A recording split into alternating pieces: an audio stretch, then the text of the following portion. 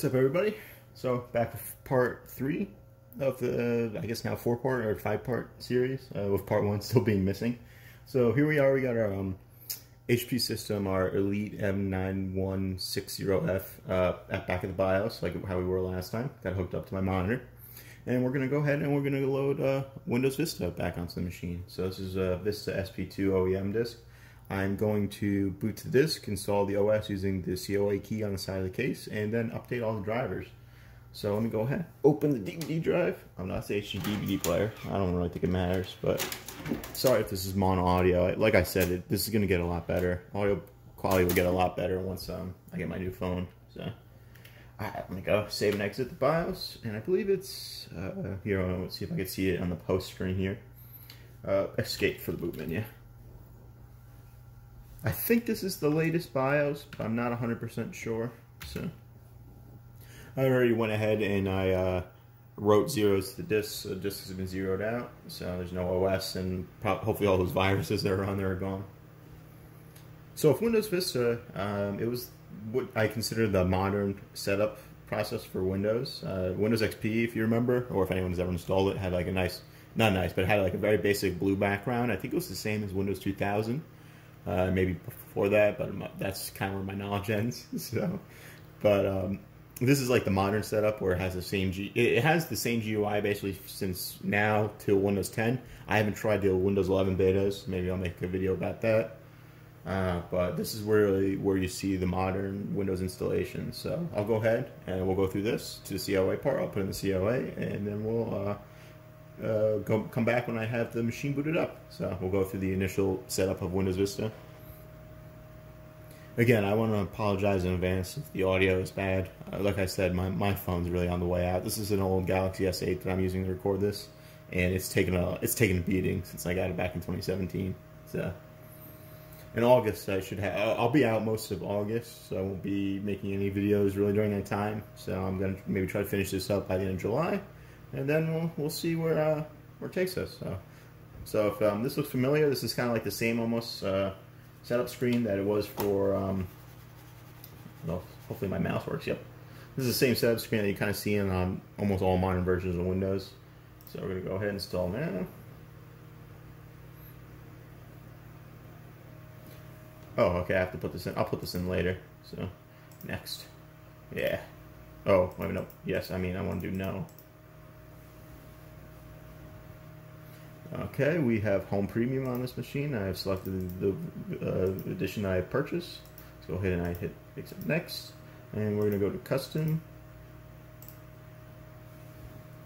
There we go. So, the, yeah, this is a little partition the scrub made. And we're going to go ahead and Drive Options, Delete. And we're going to go ahead. I still don't know why this is a 360 gig hard drive, but it says 720 gig hard drive. Maybe there was two of them in here originally, and then one was, one was uh, taken out. Okay, so that's really it. So I was just going to go ahead and it's going to install. So this is probably going to take maybe about half an hour, uh, maybe a little less. And then we'll be back at the setup screen. Alright, so that installation took about 15-20 minutes. So as you can see, this is uh, the username account creation. So let's just do Cliff. No password, I don't know, chess piece. Maybe the dog, nah, chess piece. Uh, I usually, for my naming convention, is always the model type. So it's just a M9160F. Sometimes, or I'll do HP. Oops. I insert on right now? Nope, I don't. Okay. Now we'll keep the default background, but I usually take, uh, I usually take this one. this is bringing me back to when I had my Optiplex. Uh, my second gaming computer was an Optiplex GX620 with a Pentium D, and I remember doing this setup on it. Time's a little off. Okay, so there we go. Uh, that that's really it to get it. Windows uh, Vista installed. It was, it was a lot simpler. I mean, XP wasn't too bad either, but it was a lot simpler in Vista than XP.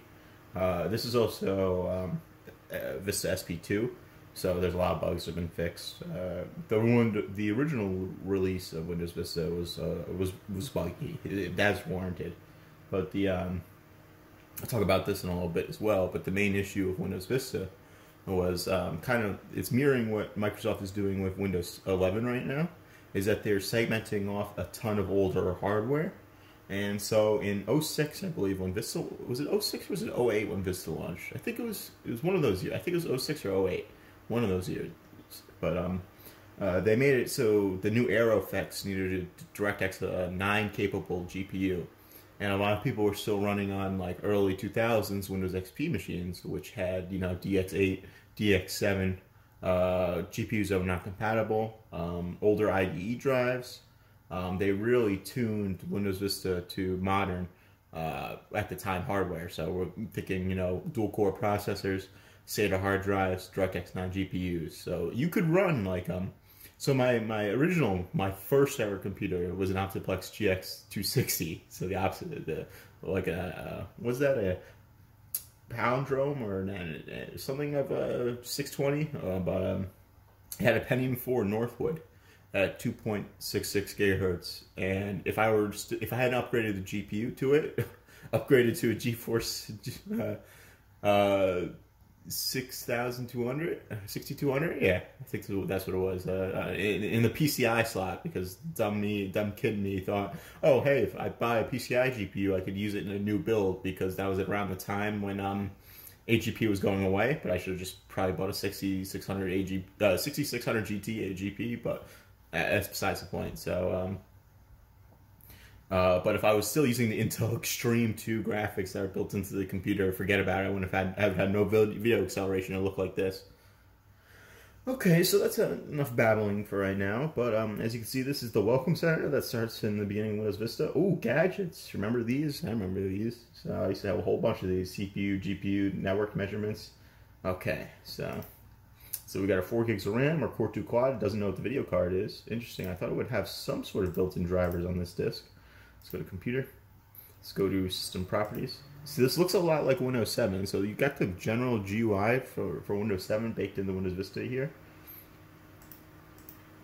Let's just go to device manager. Oh, UAC. I got to disable UAC. It was terrible. And um, hmm, this has a code 10.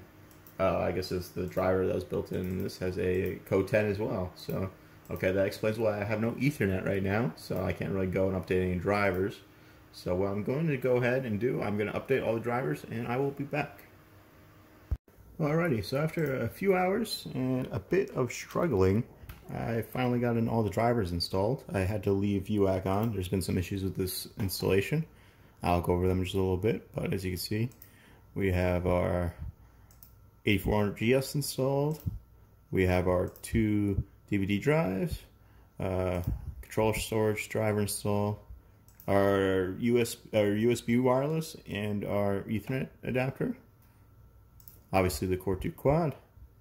Uh, the TV tuner card, couldn't find the driver for it. The VIX Pure View uh, U48B0. I don't know if this is the driver that HP used, but this is the driver that I found. HP took their drivers down for this machine, so I'm just I had to recreate them. And then that's it. So all the drivers are working. You can see we have the Aero glass effects up and running. Let's fire up CPU-Z. So the issue I'm having right now, I think there's an issue with Net Framework on this installation. I can't run Windows Update. I can't um, run certain programs that are Vista compatible that should run. So I don't know exactly what's going on, but I believe that's a Net Framework issue when I install the NVIDIA driver. So in CPU-Z, we have our Core 2 Quad Q9400 at 2.66 gigahertz. Uh, as you can see, we have SSS, SSSE 4.1, I mean SSS E3 and SSE 4.1. So this will technically run Windows 11 if Microsoft drops the TPM requirements. This is a 95 watt, uh, 45 nanometer CPU. This is the, the 95 watt, I believe, is the limit for this HP motherboard. And the motherboard was, uh, I it's weird. It says it's Pegatron, but oh, it's because I flashed maybe just the BIOS I found. But this is an Asus board, so it should be uh, actually, you know, made by Asus. Um, but BIOS's date is September 10th of 2009, so 12 years old now. Memories are 4 gigs of DDR2, clocked at 400 megahertz, but since it's uh, DDR, it's 800 megahertz. Yep, PC2 6400. Let's take a look at our temps right now.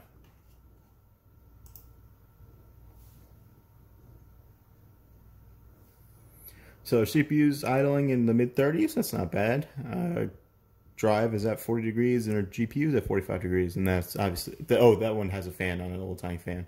So uh, it's a little hot in my apartment right now, so it's not bad for you know idle temperatures. Take a look at the GPU.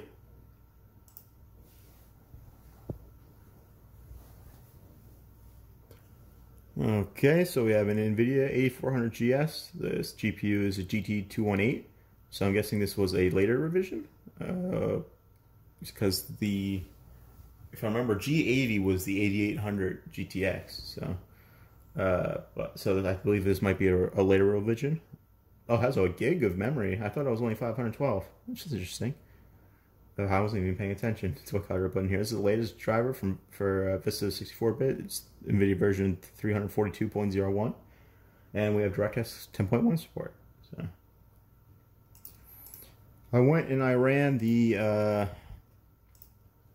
the Windows the Windows uh, Experience Index tool, and we scored I think 5.9 is the highest on Vista, and I believe it's six or 7.9 on Windows 7. But uh, the processor and the RAM are both 5.9, and the hard disk is 5.8, and graphics are 4.4 and 5.1. Even though these scores are basically meaningless. Uh, eventually, the OEMs made Microsoft drop this because they didn't want their users to get like bad scores on their on their low end components. So that's why there's no more built-in benchmarking tool for Windows. And let's see, uh, general use of the system is all right, except for the net framework issue. Uh, most of the web browsers, this is Firefox version 52 ESR. Uh, this is the last web browser, uh, the last version of Firefox you could run on Vista. And this ESR branch was dated to, I believe, mid 2018. So that's the that's the last browser here. So it's about three years out of date now, but it, it's better than XP. But I mean, I wait a minute, never mind. I scratched that. I believe it's the same one you can run in XP as well. So so um, it's probably a little bit better, but just about the same. So now let's see. Let's just try going to um, let's try watching a video. I would try more, but the problem is is that. Uh, that net framework issue I need to fix because like I, I, was gonna run Passmark and stuff and uh, I, I just can't so. And she's obviously a little slow it's only got four gigs of RAM so especially something like um, YouTube and the 8400 GS and the old browser is really gonna stretch it out. Cliff's Customs. Ooh. What, what is going on with my keyboard? Did I hit insert? Yeah Why is this cheap custom? I mean, this cheap, not this cheap keyboard mouse combo for this. So. Okay, yeah, here, watch, watch this. Let's see how this one runs. Uh, this is probably at 360p, I'm gonna guess. Oh, it's at 720p right now. It's not bad. What happens if I put it at 4K?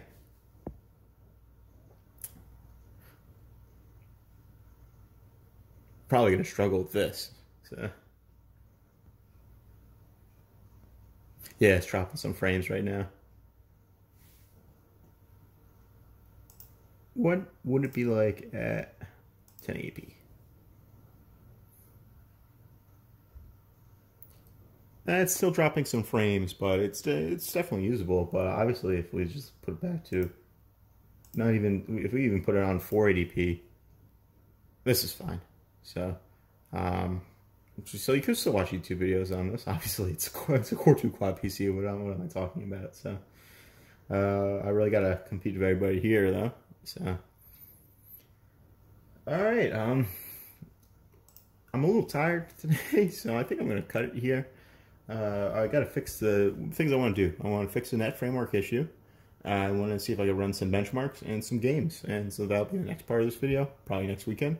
Uh, see if I have some CD-based games that I could play. And then maybe part, what would have been part five, uh, we will maybe update this, uh, upgrade the system, just put in a better GPU. I have a GT640, which will is passive. I mean, when I say passively powered, I mean it's powered by the PCI Express slot, so I don't have to worry about a PEG connector. Uh, and it's a lot better than the 8400 GS that's in here. And uh, CPU is pretty maxed out. I don't know. I don't think the Q9650 will work in here. Uh, and I could put 8 gigs of RAM in it. So uh, that could probably be a potential part 5. But until then, I will see you next time.